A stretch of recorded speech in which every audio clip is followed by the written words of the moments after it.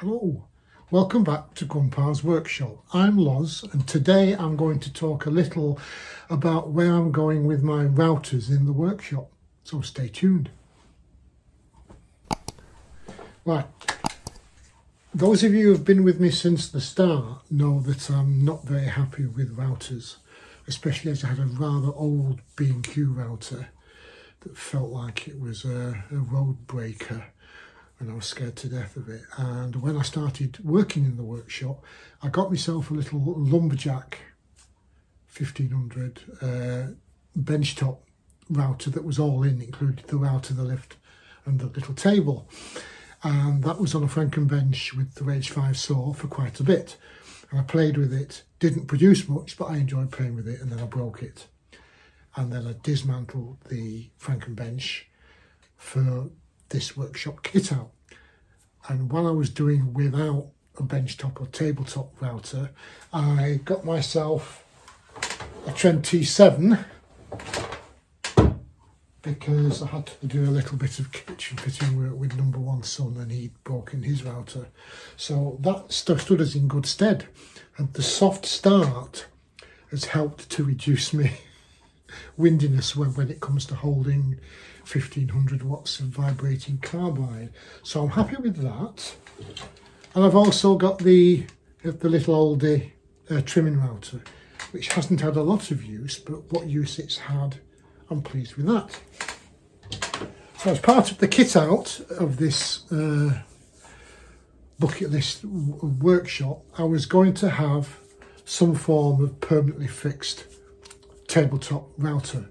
Now, having been burnt by the little lumberjack, possibly more due to my cack-handedness than the the poor thing, I was loath to go back with one of them. So it was a case of do I go for the smaller tabletop or another variation of the little lumberjack or something bigger like the benchtop ones and th th there's a whole array of those that I looked at and I did decided if I was going to basically create a tabletop with an insert in it, then it may as well be a standalone piece of equipment rather than having to move it about from bench top to the bench top and then when it's not on the bench top it has to be stood on something.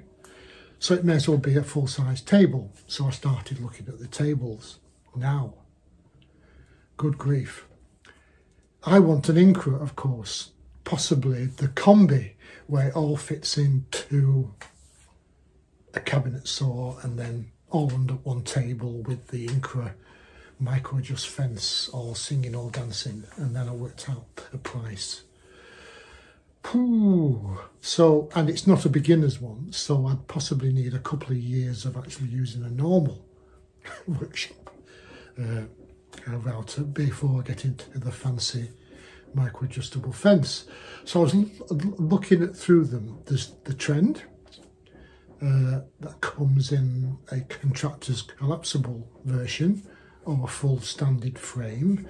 Then there's the UJK with a variety of uh, phenolic or MDF or cast iron tops. There's the JessEm, which is with the Incra, the, the Incra table itself, even with a simple fence. And I looked at the price of the frame, the top, the insert, the lift, the router motor.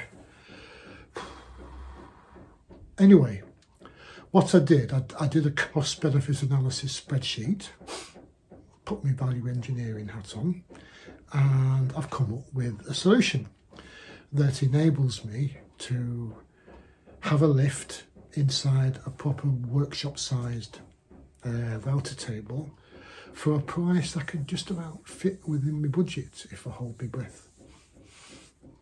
And it's the trend and the box is behind you. So let's go and have a look. And there it is. So you see full-sized table just over 800 by just over 600 uh, it comes with the power switch, the back fence, the extractor, assorted guides, and a mitre fence. The inserts there and so that's the frame and the table and the insert. And if I go with the Trend T11 as opposed to the T7 the T11 unlike the T10 can be permanently fixed under the table and it can actually be micro adjusted well, you can't see because somebody kicked it in delivery. Uh, the, there's a hole in the top that so you can actually adjust the height of the router bit from the top rather than messing around underneath. So that's it. Of course I ordered this and it came two days ago and I ordered the T11 uh, which is actually in short supply at the moment but I found one and it came this morning. Only you can't see it here because when I opened the box it wasn't a T11 it was a T10 which is basically the same router but not designed to be operated from underneath the table. The micro adjustment is a standard one. As on there so it can't work from underneath. So arranging a return. All all excitement in the Gunpower household and another one's on order it's a bit more money now if you go to Peter Millard's site two minute workshop I think he mentions the fact that regulation is changing this year so that you can't have dual use uh, uh, routers. You either have to have a handheld router or one, you know, the European style round bodied router that's permanently fixed underneath. So anyway, I managed to get in under the wire. So let's open this box. So, nice big box. I think it's Christmas.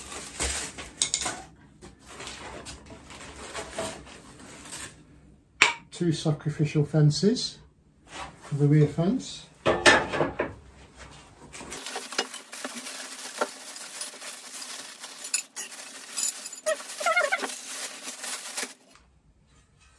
Very nice aluminium fence. More gubbins, that's a technical term, they look like the screw feet.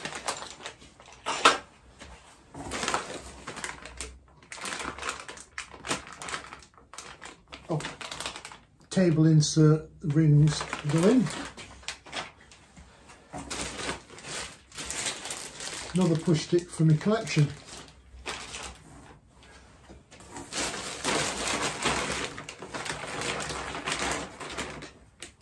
Nice mitre gauge, cast aluminium.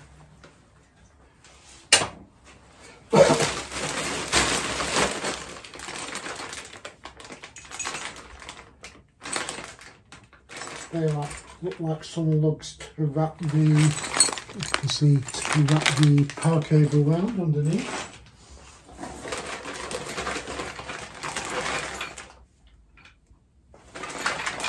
Feather boards and the extractor hose attachment for the fence.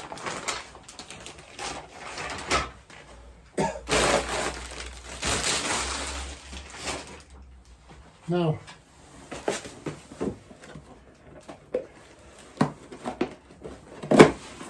keep looking at the time if you're wondering why I keep looking at the NVR switch. Very nice.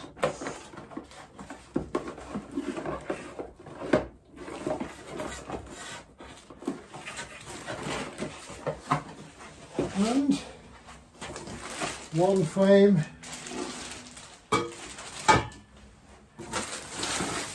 two frames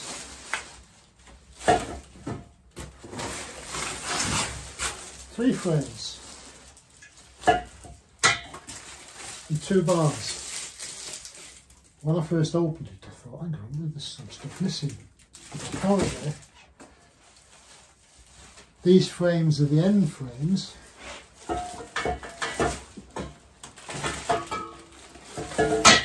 This frame is at the top, but the end frames go on and then these are the two low level bars across the whole thing. And under this card, oh wow, that is some top. That is really nice. Now, aside from the trend videos about these, I think that there's only one or two that people are using. I think there's only two separate reviews of it. And everybody says that when they open this, it looks better than it does on the web. Better than it does on the website.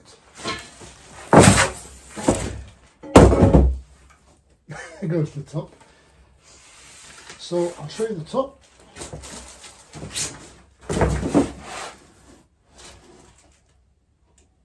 So you've got the fence guides to put the fence in that way and then you have a mitre slot for your uh, coping sled and box joint sleds. And this is what, I, apart from the price, this is what I got it for.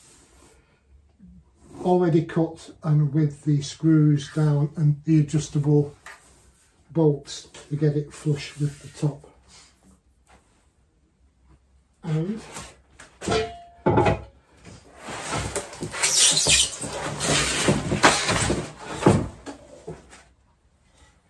the cast aluminium insert plate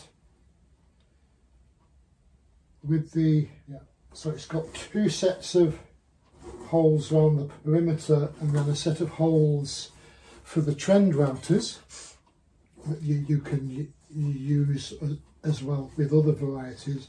But there's also the hole through the top that you have your adjusting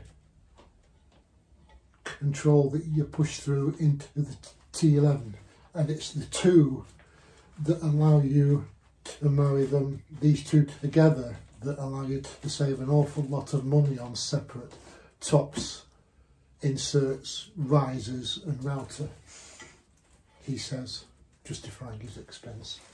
That's very nice. I'm going to have a break and then I shall have a go at assembling it. By which time the T11 should have been delivered. Is that right? Yeah, that, that's about it.